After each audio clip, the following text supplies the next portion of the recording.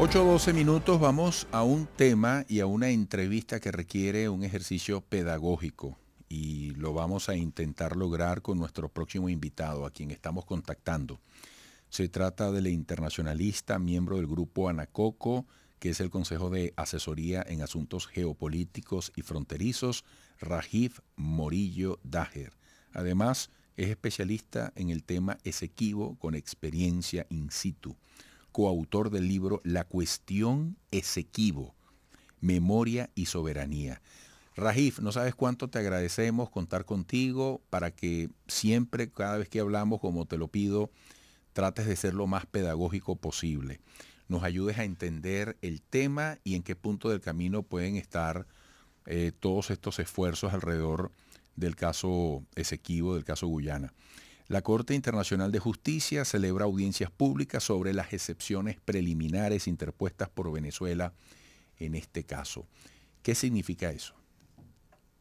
Sí, buenos días Eduardo, muchas gracias por la invitación y por este espacio para, bueno, tratar este tema de grandísima importancia nacional. Esto es un tema clave que marca el destino del país, del presente y del futuro para todo el país, todos los venezolanos en donde vivan, eh, lo que hagan, lo que piensen, etcétera. Eh, ah, mira, eh, Venezuela está afrontando una demanda de la Corte, de una demanda interpuesta por Guyana, la República Cooperativa de Guyana, ante la Corte Internacional de Justicia, que es el principal órgano judicial de la ONU. esa demanda se introdujo en el año 2018 eh, a raíz de que, bueno, de que fracasaron en parte también por, por deseo e interés manifiesto de Guyana de que fracasaran las negociaciones bilaterales. Y Guyana, bueno, apeló, o digamos, eh, se decidió a llevar esto, este tema a la Corte Internacional de Justicia. Esto tampoco, ese deseo o esa intención de Guyana no es nueva. Al menos desde 1982, Guyana quiso eh, llevar el, tema de Esequibo, el problema del Esequibo, ante la Corte Internacional de Justicia, cuya sede está en La Haya. Hay que diferenciar que eh, la Corte Internacional de Justicia es distinta a la Corte Penal Internacional. La Corte Internacional de Justicia juzga, juzga estados. La Corte Penal Internacional juzga personas, aunque estén en la misma ciudad y estén vinculadas al sistema de Naciones Unidas. Pero son dos eh, cortes totalmente diferentes. La gente confunde mucho esa, esa realidad. Eh, en el año 2020, en diciembre de 2020, la, Corte eh, sentenció que sí tenía la, eh, la competencia, tenía la capacidad para asumir el caso. Y asimismo decía que tenía que la demanda era admisible, es decir, que la demanda estaba bien fundamentada eh, y por tanto eh, se podía admitir para, para continuar el juicio. Eh, a principios de este año, en marzo, Guyana entregó lo que se llama el memorial, es decir, todo lo que Guyana alega, explica, expone, dice de por qué la Corte Internacional de Justicia tiene que ratificar el laudo arbitral de París.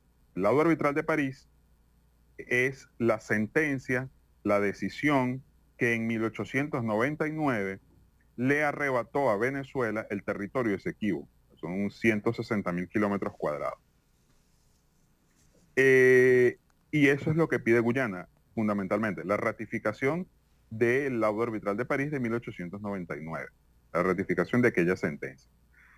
Venezuela eh, siempre se ha opuesto a resolver sus cuestiones fronterizas, territoriales de soberanía en instancias internacionales. Siempre hemos, digamos, desde los años 30 o 1930, 1940, hemos siempre buscado resolver esto de manera bilateral, a través de negociaciones diplomáticas directas. Y se han logrado algunas, eh, algunas negociaciones, sobre todo en las materias de fronteras marinas. Eh, desde el principio, desde 2018, el Estado venezolano se ha estado oponiendo a que la Corte aceptara y asumiera la demanda guyanesa, eh, en estos momentos, después de que Guyana presentó el memorial en marzo, se está aplicando eh, algo que es perfectamente válido, como lo es la, presentación de objeciones preliminares. Eso está estipulado en el artículo 79 del reglamento de la Corte Internacional de Justicia. Eh, eso, esas objeciones se basan fundamentalmente en... Rajib, me quedan dos minutos para que tengas en cuenta eso y, redondees, ah. porque entiendo que tiene mucho fondo lo que vienes diciendo. Sí, eh, porque esto no es nada fácil, esto es un tema ya lo veo. jurídico, diplomático, histórico, delicado y, complicado. Eh, esto no es nada, nada sencillo.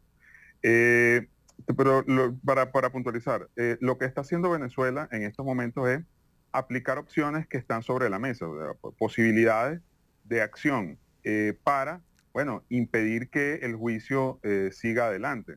Eh, lo que se está haciendo es válido. La, hay, ah, Venezuela está, digamos, utilizando, como te decía, las opciones que hay sobre la mesa. Una es esas opciones preliminares, otra es nombrar un juez ad hoc, que es un juez específico para el caso que se encargue, pues, de presentar ante los demás jueces de la Corte las posiciones, los alegatos de Venezuela, aclarar, eh, reforzar pues la, los derechos venezolanos. Eh, en estos momentos se está haciendo una nueva sesión de, esa, de, de esas audiencias. La Corte debe decidir en los próximos días si acepta o rechaza esas, esas objeciones. Eh, en el caso de que las acepte, bueno, en gran medida o totalmente se pudiera, digamos, eh, finalizar la demanda de Guyana. En caso contrario, eh, la demanda continúa y ahí Venezuela tendría, por ejemplo, la opción de, hacer una contrademanda, que en el lenguaje de la Corte se llama demanda reconvencional. Em, otra cosa que, otra cosa que, bueno, que, hay que comentar es que, digamos, estamos en una situación delicada, eh, hay que ser muy cuidadosos eh, digamos, del lado venezolano, las cosas que se digan, las cosas como se digan, porque Guyana y la Corte está muy atento a lo que, a lo, a lo que sucede en Venezuela, a lo que se diga desde Venezuela, y eso puede afectar los derechos venezolanos.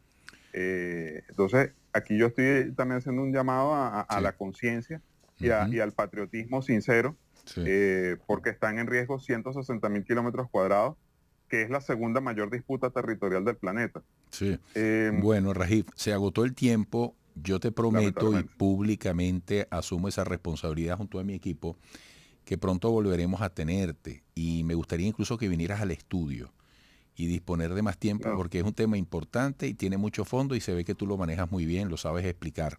Te agradezco mucho, un abrazo. Gracias, estoy atento. Ojalá se pudiera hacer. Rajif Morillo Dager, internacionalista. Amigos, volveremos.